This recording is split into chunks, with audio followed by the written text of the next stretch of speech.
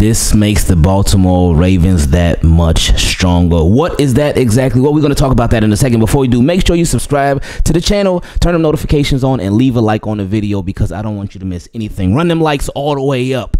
And also, got to give a huge shout out to our newest returning Team Keep It Clean patron, my guy, Living Legend. Appreciate you for coming to Team Keep It Clean patron. If any of y'all would like to join the Patreon, you can go to patreon.com slash ingravenvids. And if you don't, as long as you subscribe and leave them likes on the video, and also comment your thoughts on whatever we're talking about you all good with me. So, getting into it, what makes the Baltimore Ravens even stronger? Who makes the Baltimore Ravens that much more stronger? Well, it is none other than Derrick Henry. Now, I know you've seen, oh man, y'all been talking about Derrick Henry all offseason. Of course, he makes the Baltimore Ravens stronger. He's a really good running back, one of the best running backs in the league, and one of the most consistent running backs in the league as well. And we know that. We know that Derrick Henry has been crazy productive with the Tennessee Titans, despite being the focal point of their offense. We've been talking about ever since the Baltimore Ravens brought Derrick Henry on how he would benefit being with the Baltimore Ravens because they have so many other pieces around him. So we ain't got to say that again. We ain't got to repeat that. Y'all know that already. But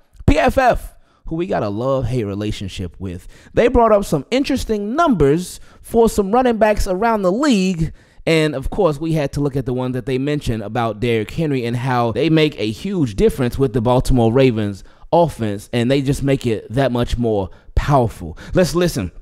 says Derrick Henry, he has six straight seasons of 10 or more rushing touchdowns. So that man finds the end zone. Now, something that I, I talked about, I was asked a couple of months ago uh, shortly after the Baltimore Ravens signed Derrick Henry. What are your expectations for him as far as yards or whatnot? And I gave a little under a thousand yards, but I said I said either 16 or 17 touchdowns. Now, some people thought that I was a little crazy. Y'all know I am a little bit crazy. I mean, you see what I got on right now. Shout out to my father-in-law. He got this hat and got the gloves too. Shout out to him. I, and I said, I don't know when it's gonna be a cold Ravens game in Florida, but I might as well wear it for the video. But anyway, um, I said he was going to get like 16, 17 rushing touchdowns. And some people thought that was a little wild. They're like, man, that's so many. That's a lot of touchdowns. And I said, well, wait, hold up now. The reason that I believe that he will do that is for two two reasons. One, because of Gus Edwards. Last season, Gus Edwards had 13 rushing touchdowns, and he wasn't even the feature back, so to speak. I mean, it, it was a mix of him. There was sometimes when it was Keaton Mitchell, or sometimes when it was Justice Hill. It was a little bit of everybody. So Ravens did running back heavy by committee last year, and that's something that they've been doing for a long time now. They haven't really had a feature back like that, like that in a while.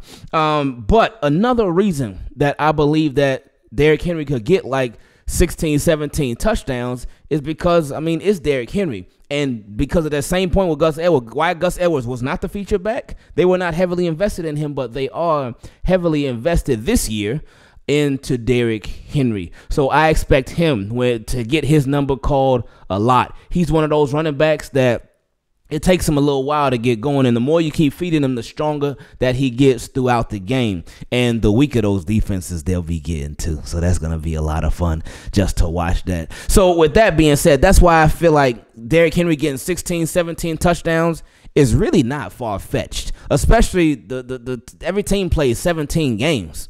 So that would be an average of one touchdown per game. When you think about it like that, it does not sound crazy at all. But you know, of course, there are going to be some games where Derrick Henry doesn't reach the end zone. Well, hopefully that doesn't happen. But, you know, we got to be realistic. It's the NFL. There are going to be some games where he doesn't reach the end zone. But there are going to be other games where he reaches the end zone multiple times, where he gets there over and over and over, where he just simply cannot and will not be stopped. Those are the games we're looking forward to the most. So with Derrick Henry, that's 16, 17 touchdowns. That's that could be that could even be low, but no, I think that'll be a, a good number for him. If you want to exceed that number, by all means, go ahead. Now, another reason that this makes the Baltimore Ravens even stronger, them adding Derrick Henry is because of this. Uh, since 2022, running backs with the most missed tackles force. So running backs as they avoiding tackles, they eluding uh, defenders, and they making people just straight up miss. Well, Kenneth Walker Jr. he has 104. Najee Harris has 107. Josh Jacobs has 118. Travis Etienne Jr. has 121. But we ain't worried about those other four guys. What about our guy Derrick Henry? How many missed tackles does Derrick Henry have? Well, he has 126. So since 2022, Derrick Henry has the most missed tackles force. Now I know that number, especially when you go since 2022, that can kind of you can kind of skew the numbers like that to Derrick Henry's advantage, but I don't care because the fact that he is still making people miss, like that's something that Derrick Henry probably doesn't get enough credit for. Is that he's a little swift, man. He like when, when you think about Derrick Henry, you think of this big, strong, uh, shredder-looking uh, running back, super, super shredder-looking running back. Shout out to the TMNT. I know y'all know what I'm talking about. But um, you don't think of a guy that can make people miss. You don't think of a guy that's agile. Now he ain't like going crazy. He ain't like Saquon Barkley or something like that. But Derrick Henry, just because he's big, don't mean he ain't got the moves. So with him making people miss, like that just adds another element to not only his game, but to the Baltimore Ravens offense. And we know with this offense, like they were already really good last year. They, they they were great last year. And then as the year went on, they kept getting stronger. They kept getting more powerful. They kept getting more versatile. And that's what we loved about this team. So this year, we're looking for them to take another step. Obviously, Todd Monken in year two with the Baltimore Ravens in this offense. You know what's even crazier too? There was a Cowboys fan. I saw a conversation about uh, if the Cowboys should let that Dak Prescott walk or not, and there was a Cowboys fan that said we shouldn't pay Dak Prescott all that money. We should let him go in free agency, and then we should hire the Baltimore Ravens offensive coordinator.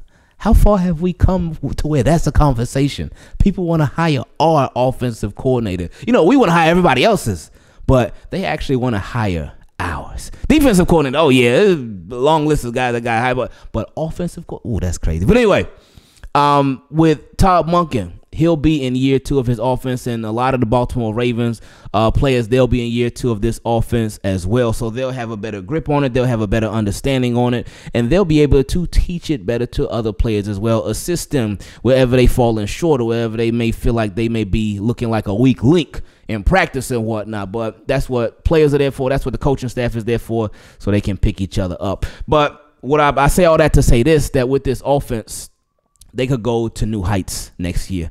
They could just take it to a whole nother level next year. And they can be that much more comfortable that much earlier in the season. Uh, because remember last year, the offense, they weren't clicking like that from jump. But once they got rolling, they got rolling. Uh, they end up rolling away in the playoffs in that AFC championship game for whatever reason. But you get exactly what I'm saying. So this should be fun. This should be real fun. And we just hope that with Derrick Henry added to the mix, that versatility certainly can't stop and won't stop. Team, keep it clean. Make sure you subscribe to the channel, turn the notifications on, leave a like on the video, run them likes up, baby, because it helps out the channel a ton. I love you. I appreciate y'all. Uh, make sure you subscribe and don't miss a video. If you would like to become a Team Keep It Clean patron, go to patreon.com slash ingravenvids. I appreciate y'all. I love y'all, and we out.